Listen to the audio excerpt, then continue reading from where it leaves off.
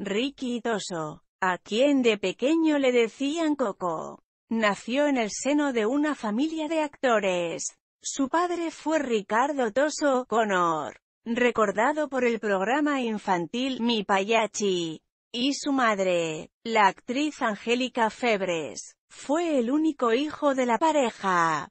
Comenzó a actuar cuando tenía cuatro años de edad con apariciones esporádicas en el programa de su padre, aunque al terminar el colegio estudiaría arquitectura, según dijo en una entrevista, para complacer la voluntad de su madre. Al séptimo ciclo de la carrera de arquitectura renunció para formarse profesionalmente como actor, llegando a viajar a Buenos Aires, Argentina, para cursar allí diversos talleres y estudiar interpretación en Buenos Aires en Argentores, con Pedro Alejandro, E. M. A.